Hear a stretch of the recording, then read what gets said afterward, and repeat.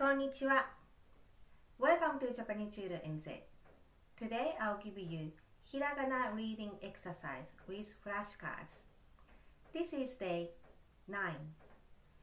I will show you a card randomly and you can pause. You can check the answers in the description or here. Okay, let's get started.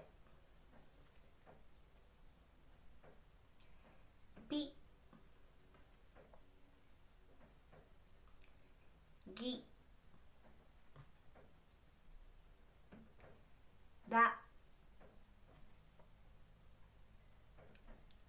ぽど Okay, that is all for today. When you want to learn more, please contact us through the website japanese.co.nz ありがとうございました。